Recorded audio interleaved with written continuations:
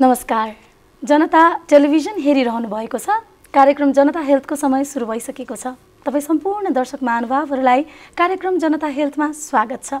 कार्यक्रम जनता हेल्थमा हामी कुनै पनि एउटा स्वास्थ्यसँग सम्बन्धित विषय लिएर उपस्थित हुने गरेका छौँ र आज पनि एउटा विषय छ। र विषयसँग सम्बन्धित चिकित्सक पनि हुनुहुन्छ स्टुडियोमा।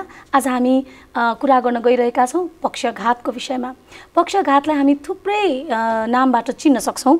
जस्तो कि लकुवा ब्रेन स्ट्रोक प्यारालाइसिस जस्ता नामहरूबाट हामीले पक्षघातलाई चिन्ने गरेका छौँ। वास्तवमा के हो त पक्षघात र यो कसरी हुन्छ के के कारणले हुन्छ भन्ने विषयमा आज हामी विस्तृत रूपमा चर्चा गर्नेछौँ। यसका लागि मैले आज स्टुडियोमा निम्ति आएकी छु senior neuro physiotherapist doctor Tenzing Norbu लामाज्यूलाई। आउनुहोस् आज हामी उहाँसँग धेरैभन्दा धेरै कुराकानी गर्नेछौँ। ढिलाइ नगरिकन स्वागत गरौँ डाक्टर साहबलाई। डाक्टर साहब नमस्कार स्वागत छ यहाँलाई। ओके आजको विषय थाहा पाइसक्नु भएको छ।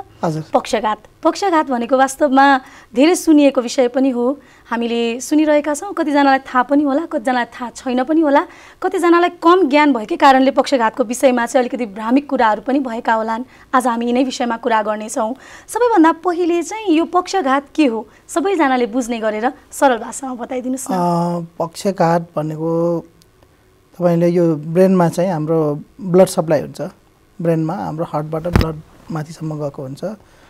त्यो ब्लड सप्लाई केही कारणले रोकियो रोकिएको कारणले अथवा ब्लड सप्लाई धेरै हाई प्रेसर भएर ब्लड सप्लाई चाहिँ ब्लड ब्रेनमा चाहिँ फुट्यो भने चाहिँ त्यस कारणले पक्षघात हुन्छ। त्यसलाई त्यही कारणले गर्दा चाहिँ ब्लड रोकेको कारणले अथवा ब्लड धेरै सप्लाई भएर ब्लडको भेसल्सहरू फुटेको कारणले गर्दा चाहिँ ब्लड जम्न जान्छ। त्यो कारणले गर्दा चाहिँ पक्षघात हुन्छ। किनभने त्यो ब्रेनमा चाहिँ अक्सिजनको मात्रा अथवा न्युट्रिसनको मात्रा चाहिँ कम हुन्छ। जसले गर्दा चाहिँ विदिन अ फ्रेक्सन अफ सेकेन्डमा चाहिँ मान्छे केही न केही लक्षणहरू देखाउन थाल्छ। जस्तै मुख बाङ्गिने हात लुलु भएर जाने आधा जिउ नचल्ने होइन कुनै कुनै मान्छेहरू बेहोस पनि हुनसक्छ। सो लाइक हाम्रो त्यस्तो खालको चाहिँ समस्याहरू देख्छ। अनि मान्छेहरू उभिन खोज्यो भने चाहिँ अब जस्तै नर्मली दुईवटा खुट्टाले उभिन्छ नि त्यतिखेर चाहिँ अब वान साइड प्यारालाइसिस भएको कारणले गर्दा चाहिँ बिन नसक्ने लड्ने हुन्छ मान्छेले थाहा नहुने नहुन पनि सक्छ। सो बेसिकली अब तपाईँको ब्रेनमा ब्लड सप्लाई कम भयो कम भयो अथवा रोकियो अथवा ब्लड सप्लाईको गर्ने चाहिँ भेसल चाहिँ फुट्यो भने चाहिँ पक्षघात हुन्छ। पक्ष भनेको दिमाग ब्रेन भइहाल्यो काट भन्ने त्यसमा चोट लाग्ने। सो बाहिरी कारण केही हुँदैन भित्री कारणले गर्दा चाहिँ त्यस्तो खालको समस्या हुन्छ जसलाई चाहिँ हामीले पक्षघात भन्छौँ। अब जस्तै तपाईँको दायाँपट्टि ब्रेनमा चाहिँ पक्षघात भएको छ भने चाहिँ बायाँ साइडमा चाहिँ तपाईँको प्यारालाइसिस देखिन्छ। हात चलाउन नसक्ने हुनसक्छ खुट्टा चलाउन नसक्ने हुनसक्छ कुनै कुनै व्यक्तिको बोली पनि जान्छ कसै कसैको बेहोस पनि हुनसक्छ। अनि यदि बायाँ साइडमा छ भने दायाँ साइडमा भने मतलब जस्ट अपोजिट साइडमा चाहिँ तपाईँको लक्षणहरू देखिन्छ। यो अचानकै हुने हो कि यसको केही समयपछि हुने हो कि पक्षघात हुनुको लागि चाहिँ कस्तो कस्तो खालको लक्षणको कुरा गरिराख्दाखेरि ठ्याक्कै हामीले थाहा पाउने लक्षणहरू चाहिँ के के हुन सक्छन्? अब ठ्याक्कै थाहा पाउने लक्षण भनेको तपाईँ बसिरहेको छ जस्तै तपाईँ यो कतिखेर हुन्छ भन्ने हुँदैन। जस्तै प्रायः जस्तो अब स्टडीहरूले के देखाएको छ भने प्रेसरको कारणले पक्षघात भयो भने चाहिँ प्रायः जस्तो दिउँसो बेलामा हुन्छ। जस्तै अब बिहानको टाइम अथवा दिउँसोको टाइममा हुन्छ। त्यो एक्टिभ भएको बेलामा चाहिँ पक्षघात हुने चान्सेस हुन्छ। जस्तै कोही मान्छे उठेर कुरा गरिरहेको बेलामा पक्षघात हुनसक्छ अफिसमा काम गरिरहेको बेलामा पक्षघात हुनसक्छ बसेर उठ्दाखेरि पक्षघात हुनसक्छ। त्यस्तै अर्को भनेको चाहिँ अब जुन चाहिँ ब्लड सप्लाई कम भएर हुने चाहिँ तपाईँ राति प्रायः जस्तो राति सुतेको बेलामा हुन्छ। किनभने जतिखेर हाम्रो हार्ट रेट पनि एकदम कम हुन्छ ब्लडले पम्पिङ पनि कम गरेर हुन्छ त्यति कारणले त्यति बेला चाहिँ जसलाई डायबेटिक छ जसलाई एथोलोस्क्रोसिस प्रब्लमहरू छ अथवा ब्लड सम्बन्धी प्रब्लमहरू छ भने त्यतिखेर सडनली ब्लड चाहिँ रोकिन सक्छ जस कारणले बिहान उठ्दाखेरि चाहिँ मान्छेको चाहिँ वान साइडको फेस बाङ्गो भएको हुनसक्छ इमिडिएट देख्ने लक्षण भने चाहिँ फेस बाङ्गो देखिन सक्छ। हात चाहिँ बाइचान्स राइट ह्यान्ड छ भने केही काम गर्दैछ भने हात ड्रप हुनसक्छ होइन? मान्छे उभिरहेछ भने ढल्न सक्छ। सो तपाईँको वान साइड बडीले चाहिँ केही न केही रूपमा काम नगरेको चाहिँ देखिन्छ। पक्षघात हामीले सुन्दाखेरि अलिकति भनौँ न भयभीत नै हुने खालको समस्याको रूपमा पनि लिइन्छ होइन? प्यारालाइसिस नै हुनु एउटा अङ्गै नचल्नु भनेको त यो साँच्चै सामान्य कुरा त होइन। तर यो सिम्टम देखियो र अलिकति हामीलाई चाहिँ अप्ठ्यारो भयो भने तुरुन्तै इमिडिएटली हामीले गर्ने कार्यहरू चाहिँ के के हो त? यो जुन कार्डिनल साइन्स छ हाम्रोमा चाहिँ के भन्छ नि बी फास्ट भन्छ। बी फास्ट भनेको तपाईँको फास्ट भनेको एफ भनेको फेस होइन? फेस बाङ्गो भयो भने। अनि ए भनेको चाहिँ तपाईँको मुभमेन्ट आर्म्स ड्रप हुन्छ होइन? एस भनेको तपाईँको स्पिच लस हुनसक्छ। अनि टी भनेको तपाईँको चाहिँ अब तपाईँले जति सक्यो छिटो दौडाउनु पर्छ। भने मतलब यो पक्षघात देखियो भने चाहिँ सबभन्दा फर्स्ट थिङ भनेको हस्पिटल जानुपर्छ। दायाँ बायाँ केही नसोइकन राति होस् दिउँसो होस् नो वेटिङ फर टाइम किनभने यसमा चाहिँ तपाईँले टाइममा हस्पिटल पुऱ्यायो भने उहाँको रिकभरी राम्रो हुनसक्छ। बाइचान्स ब्लड क्ल ब्लड जमेको छ भने डक्टरहरूले छिटो अब अपरेसन गर्नुपर्ने हो कि अथवा औषधि खाएर गराउन सक्नुहुन्छ। त्यस्तै अब रगत चाहिँ सञ्चालन कम भएको कारणले हो भने त्यो अनुसार उहाँहरूले ट्रिटमेन्ट गराउन सक्नुहुन्छ। जब ब्लड चाहिँ छिटो खुलाउनलाई भेसल्स खुलाउनलाई औषधि चढाउन सक्नुहुन्छ। बेहोस भएको छ भने इमिडिएटली पेसेन्टले राम्रो ट्रिटमेन्ट पाउँछ। सो लाइक यसमा चाहिँ टाइम एकदम इम्पोर्टेन्ट हो। टाइम इज भेरी भ्यालुएबल किनभने तपाईँले टाइममा जति टाइममा हस्पिटल पुऱ्याउन सक्यो त्यति नै पेसेन्टलाई रिकभरी हुने चान्सेस राम्रो जा- राम्रो हुने चान्सेस हुन्छ। जति तपाईँले डिले गर्नुभयो त्यति नै वर्स हुँदै जाने चान्सेस हुन्छ। अनि मेन कुरा के हो भने एकचोटि स्ट्रोक भइसक्यो भने फेरि साइमल्टेनियसली नेक्स्ट स्ट्रोक पनि हुने चान्सेस धेरै हुन्छ। अब डाक्टर साहब यो सबै उमेरको व्यक्तिहरूलाई हुने हो कि पर्टिकुलर कुनै एज ग्रुप छ? यसमा अब यङ ग्रुपलाई हुने चान्सेस पनि छ अहिले देखिएको पनि छ जसले धेरै स्मोकिङ गर्नुहुन्छ अब त ड्रगहरू युज गर्छ अथवा जसले चाहिँ हार्टको प्रब्लम छ भल्भ सम्बन्धी प्रब्लम छ उहाँहरूलाई देखिन्छ एउटा खालको त्यो भयो। अर्को भनेको चाहिँ अब प्रायः जस्तो चाहिँ अलि एज भएको पपुलेसनलाई चाहिँ देखिन्छ। बेसिकली लाइक जसमा चाहिँ कोमर्बिडिटिसहरू भन्छ भने मतलब दीर्घ रोगहरू भएको जस्तै प्रेसर भएको डायबेटिक प्रब्लम भएको कोलेस्ट्रोलको प्रब्लम भएको यस्तो खालको प्रब्लम भएको मान्छेहरूलाई चाहिँ बढी चान्सेस देखिन्छ। सो लाइक अब एउटा चाहिँ के छ भने आफ्टर फिफ्टी प्लस अथवा सिक्सटी प्लसको लागि बढी जति एडभान्स एज हुँदै गयो त्यति देख्ने चान्सेस त भइहाल्यो। तर यङ ग्रुप पपुलेसनलाई पनि अहिले धेरै नै देखिएको छ। किनभने लाइफ स्टाइल अनि तपाईँको हार्ट प्रब्लमहरू अनि खानेकुराहरूले गर्दा चाहिँ अलि देखिएको छ म्याम। जीवनशैलीले पनि त्यसमा रोल प्ले गर्ने भयो है? त्यो सँगसँगै एक्सिडेन्टको कुरा पनि गरौँ। एक्सिडेन्ट्सहरूको टाइममा पनि प्यारालाइसिस हुने चान्सेसहरू धेरै। हुन्छ। त्यो टाइममा चाहिँ खास कस्तो खालको घटनाहरूमा चाहिँ बढी जस्तो पक्षघात प्यारालाइसिस अथवा भनौँ यो ब्रेन स्ट्रोक हुने चान्सेस धेरै हुन्छ? यो चाहिँ प्रायः जस्तो चाहिँ जस्तै अब कसैले टाउकोमा हान्यो लट्ठीले अथवा रडले केहीले हान्यो भने पनि स्ट्रोक हुने चान्सेस हुन्छ। अथवा अब रोड ट्राफिक एक्सिडेन्ट गएर आफू गएर बजारियो भने टाउको अब बाहिरबाट केही घाउ नहुनसक्छ तर भित्र चाहिँ स्ट्रोक भएको हुनसक्छ किनभने ब्रेन अल्टिमेटली के हो भने ब्रेन इन्जुरी हुने हो। ब्रेन किन इन्जुरी हुने? ब्लड भेसल्समा चाहिँ मेनली चाहिँ इन्जुरी भएर देखिने चिज हो होइन? सो तपाईँको एउटा त त्यो चोटहरूको कारणले हुने हुन्छ अर्को भनेको अब आफू कहिलेकाहीँ अब मान्छेहरू त्यतिकै सडनली लड्यो र टाउको ठोक्यो भने पनि हुने चान्सेस धेरै हुन्छ। अब हामीले यो भनौँ न के के कारणले हुन्छ अथवा यसको लक्षणहरू त राम्रोसँगले बुझ्यौँ। अब यो पछिको उपचारको विधिलाई पनि अलिकति हामीले जोड्नुपर्छ जस्तो लाग्यो होइन। किनकि उपचार नै सबैभन्दा ठुलो निदान हो। यो पक्षघातको लागि। अब यो उपचारको कुरा गर्दाखेरि न्युरो रिहेबिलिटेसनको कुरा पनि धेरै आइरहेका छन्। वास्तवमा के हो त न्युरो रिहेबिलिटेसन यो न्युरो रिहेबिलिटेसन भनेको खास कस्तो भने यो न्युरो रिहेबिलिटेसन एउटा टिम हुन्छ म्याम।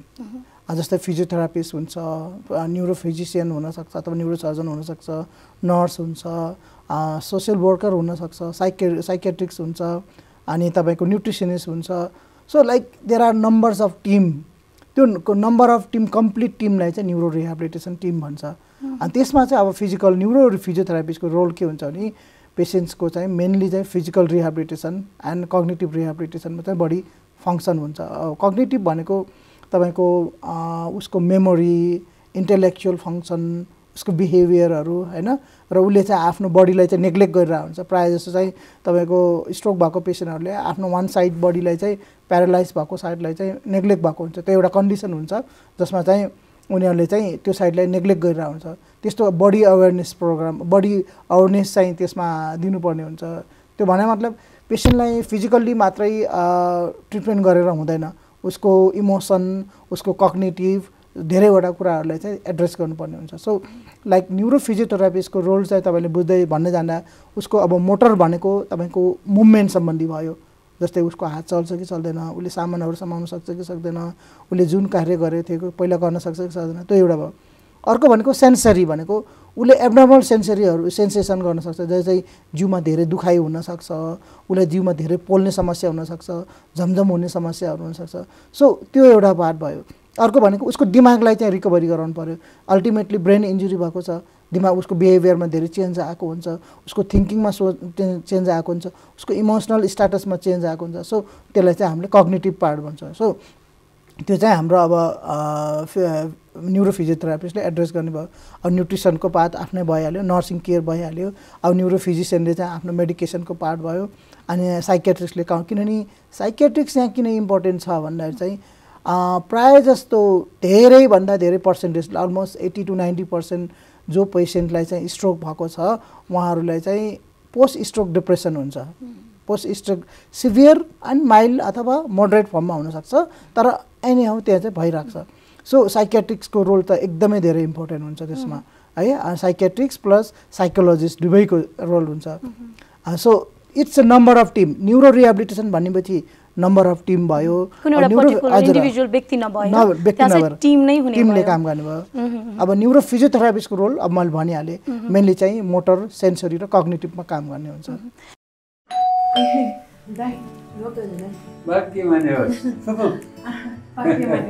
ज्वाइँ खै नि? ज्वाइँले कस्तो छ हजुर? दाइ सबै त ठिकै छ। खानै रुच्दैन। नरुचेकै यस्तो छ? रुचेको कस्तो होला?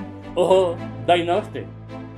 ओहो हो तपाईँले त आफूले मात्र होइन नाति नातिनाहरूलाई सुधा अखोची खुवाउनु हुँदो रहेछ। अखची दाइ बरु जाउँ न उतै खाना खाँदै गफ गरौँला यो अखची भनेको के हो? अखोची भनेको अति खराब चिल्लो पदार्थ अङ्ग्रेजीमा ट्रान्सफ्याट भनिन्छ। वनस्पति घिउमा बनाइएको सबै खानेकुराहरू र पटक पटक धेरै बेरसम्म तताएको तेलमा तारेको खानेकुराहरूमा ट्रान्सफ्याट हुन्छ अखची हुन्छ। जुन स्वास्थ्यको लागि अति हानिकारक हुन्छ। यो त्यस्तो कुरो खानु हुँदैन। यस्तो खानाले त युवा अवस्थामा नै हृदयघात मस्तिष्कघात उच्च रक्तचाप मधुमेह मोटोपना क्यान्सर समेत हुन सक्छ फुपाजु अबि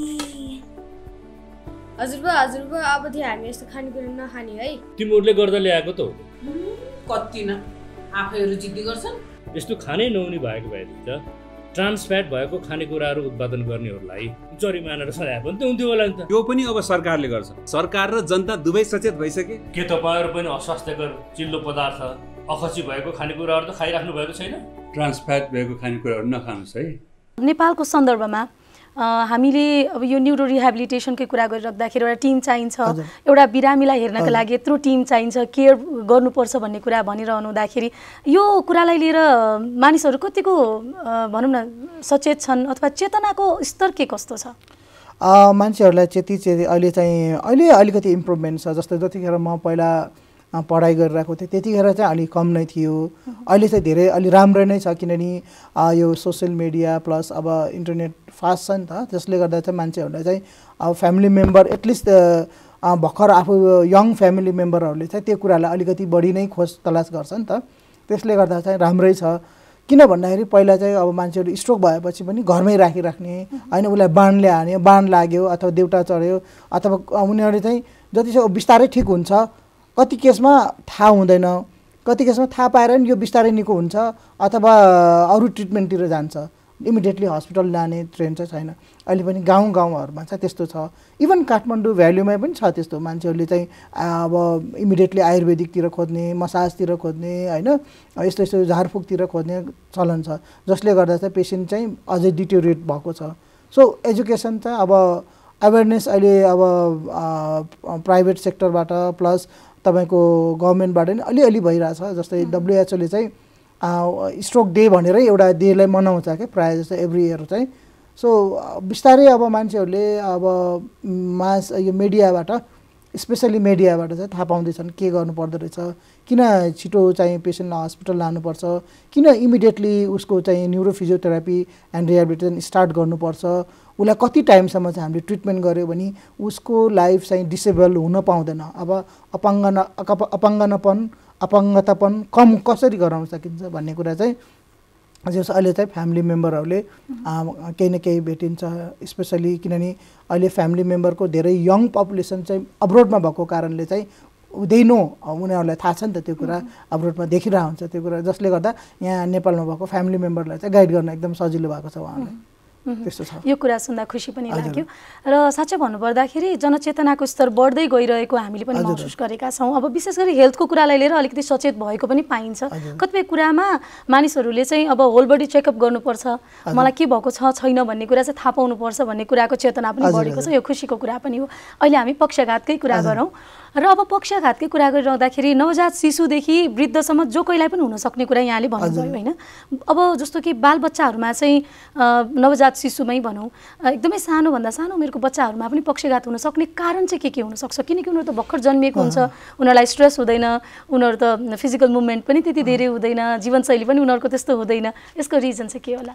बच्चाहरूमा हुनेलाई चाहिँ हामीले चाहिँ सेरिबल पाल्सी भन्छौँ मस्तिष्क पक्षघात भन्छौँ। खास पक्षघात नै हो तर मस्तिष्क पक्षघात नै भन्छ सेरिबल पाल्सी। यो चाहिँ बेसिकली बच्चाहरूमा चाहिँ बाई बर्थ पनि हुने चान्सेस हुन्छ।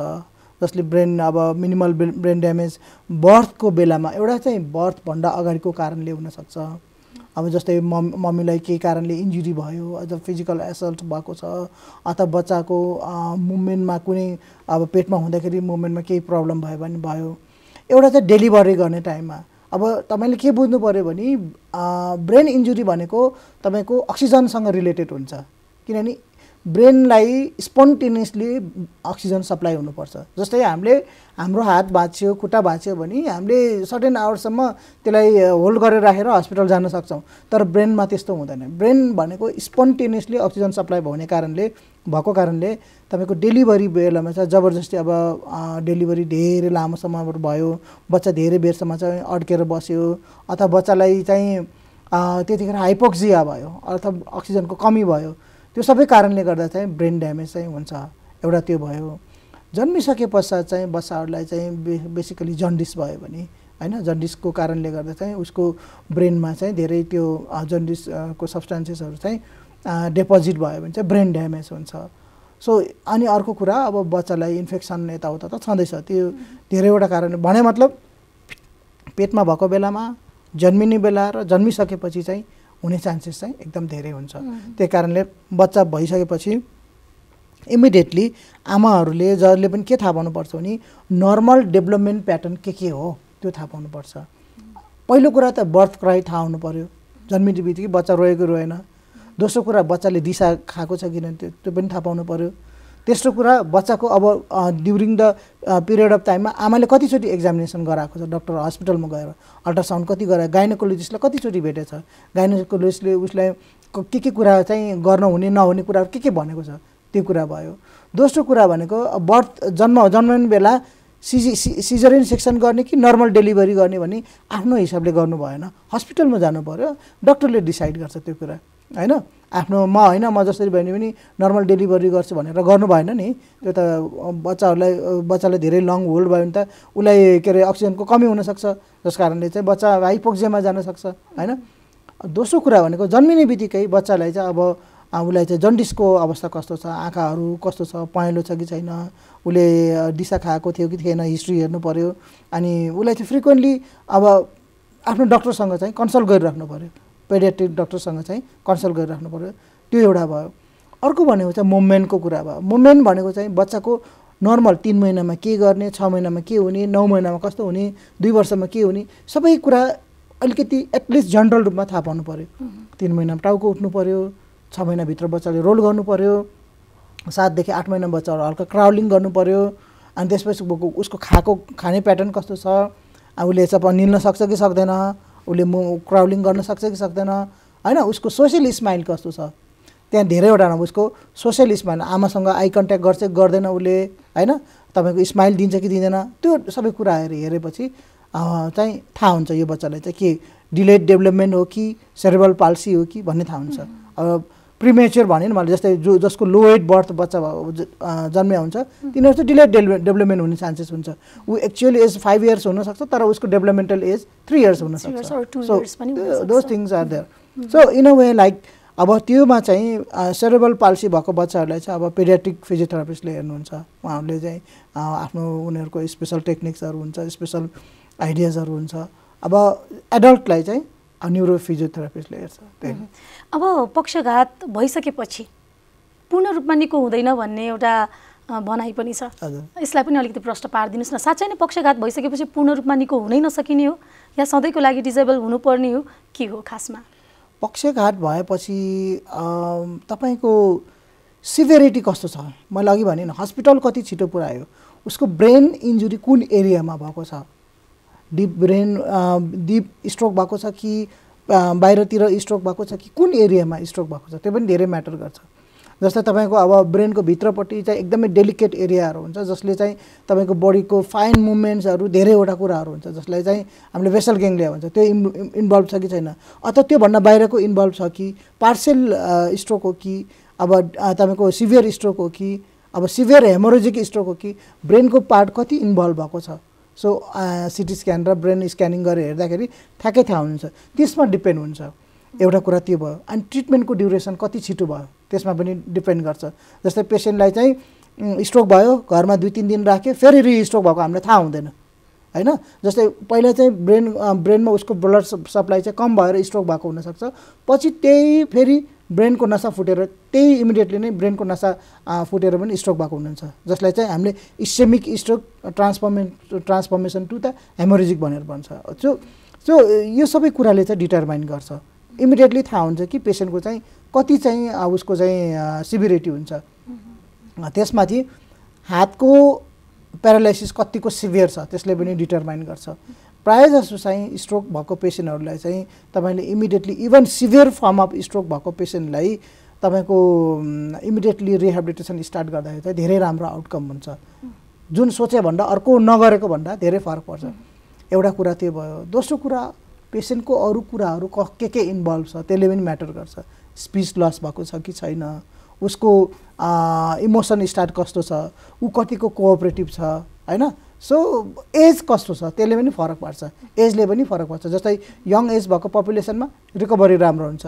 ओल्ड एज भएको पपुलेसनमा स्लो हुनसक्छ अनि डायबिटिज हाइपरटेन्सन अरू एसोसिएटेड डिजिज भएकोमा स्लो हुनसक्छ so there are number of factors केले गर्दा चाहिँ उसको पेसेन्टको चाहिँ डिसेबिलिटी चाहिँ डिटरमाइन हुन्छ। एउटा त्यो भयो। अर्को भनेको विदिन अ इयरमा चाहिँ थाहा हुन्छ। सिक्स मन्थ थ्री मन्थमै ऊ यतिसम्म हुनसक्छ भन्ने एउटा प्रिडिक्सन गर्न सकिन्छ। तर आफ्टर इयर्स पनि रिकभर हुने कारणले एक एटलिस्ट एक डेढ वर्ष चाहिँ कुरेर हेर्नै पर्ने हुन्छ। कुरेर हेर्नु भने त्यतिसम्म ट्रिटमेन्ट गर्दै जाँदा रिकभरी हुन्छ। एउटा कुरा त्यो भयो दोस्रो कुरा के हुन्छ रिहेबिलिटेसनको फाइदा के हो भन्दाखेरि हाम्रो ब्रेनलाई चाहिँ प्लास्टिसिटी प्लास्टिक भन्छ क्या प्लास्टिकलाई जसरी हामीले मोल गर्न सक्छ नि त्यसै गरेर ब्रेनलाई पनि प्लास्टिक न्युरोप्लास्टिसिटी भन्छ।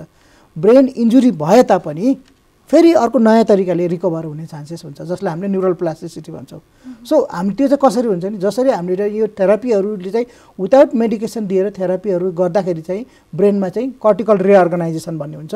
त्यो पहिला भएको चिजहरू ड्यामेज भए पनि अर्को साइड बाई साइडले चाहिँ त्यसलाई रिअर्गनाइज गरेर नयाँ तरिकाले चाहिँ ब्रेन चाहिँ इम्प्रुभमेन्ट आउँछ। सो हामीले पहिला के थियो न्युरो एकचोटि न्युरोनमा चाहिँ एकचोटि इन्जुरी भएपछि रिकभर हुँदैन भन्ने छ नि। तर त्यो होइन त्यो रिकभर नभए पनि त्यसको वरिपरिको एसोसिएट एरियाले त्यसलाई ओभरकम गरेर चाहिँ ब्रेन चाहिँ रिअर्गनाइज हुनसक्छ।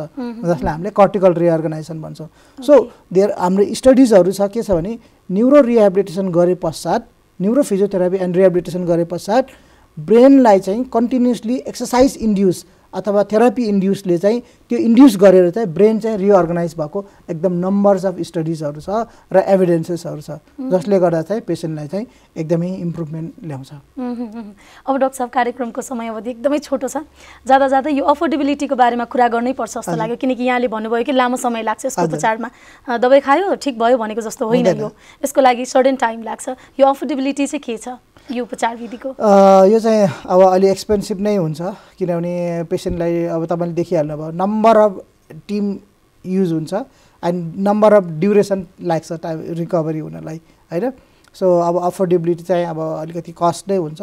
तर त्यो कस्ट गरे बापत गरे अनुसारको रिकभर पनि हुनेछ। इमिडिएटली स्टार्ट अब तपाईँ दुई तिन वर्ष भएको पेसेन्टलाई अब अहिले ट्रिटमेन्ट गरेर निको बनाउँछु भन्ने चाहिँ भएन। इमिडिएटली स्ट्रोक भएको अथवा स्ट्रोक भएको केही महिनाभित्रै नै इमिडिएटली चाहिँ हामीले चाहिँ ट्रिटमेन्ट सुरु गऱ्यो भने चाहिँ हुन्छ।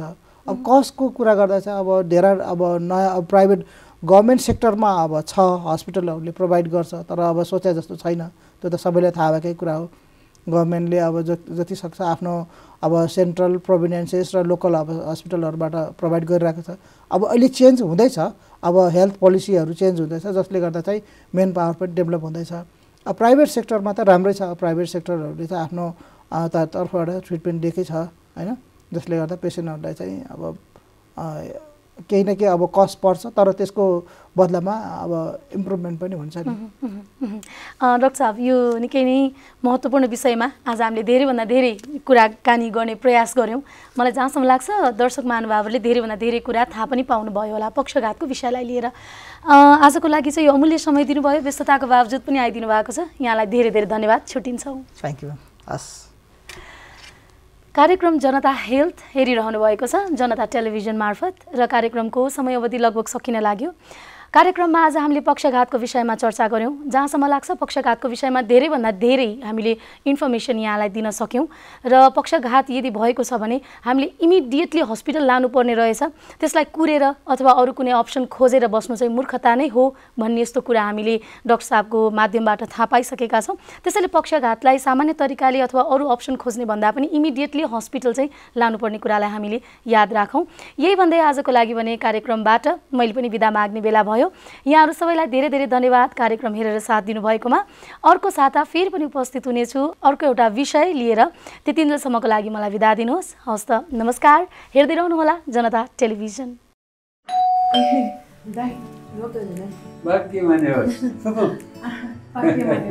ज्वाइँ खै कस्तो छ सबै त ठिकै छ। खानै रुच्दैन। नरुचेकै यस्तो छ? रुचेको कस्तो होला? ओहो दाइ नमस्ते ओहो हो हो तपाईँले त आफूले मात्र होइन नाति नातिनाहरूलाई सुधा अखोची खुवाउनु हुँदो रहेछ अखसी दाइ बरु जाउँ न उतै खाना खाँदै गफ गरौँला यो अखसी भनेको के हो अखोची भनेको अति खराब चिल्लो पदार्थ छ अङ्ग्रेजीमा ट्रान्सफ्याट भनिन्छ वनस्पति घिउमा बनाइएको सबै खानेकुराहरू र पटक पटक धेरै बेरसम्म तताएको तेलमा तारेको खानेकुराहरूमा ट्रान्सफ्याट हुन्छ अखोची हुन्छ। जुन स्वास्थ्यको लागि अति हानिकारक हुन्छ। यो त्यस्तो कुरो खानु हुँदैन। यस्तो खानाले त युवा अवस्थामा नै हृदयघात मस्तिष्कघात उच्च रक्तचाप मधुमेह मोटोपना क्यान्सर समेत हुन सक्छ फुपाजु। हजुरबा हजुरबा अबदेखि हामी यस्तो खानेकुरा नखाने है। तिमीहरूले गर्दा ल्याएको त हो। कति न आफैहरू जिद्दी गर्छन्? यस्तो खानै नहुने भएको भए त ट्रान्सफ्याट भएको खानेकुराहरू उत्पादन गर्नेहरूलाई जरिमाना र सजाय पनि त हुन्थ्यो होला नि त। यो पनि अब सरकारले गर्छ। सरकार र जनता दुवै सचेत भइसके। के तपाईँहरू पनि अस्वास्थ्यकर चिल्लो पदार्थ अखसी भएको खानेकुराहरू त खाइराख्नु भएको छैन? ट्रान्सफ्याट भएको खानेकुराहरू नखानुहोस् है।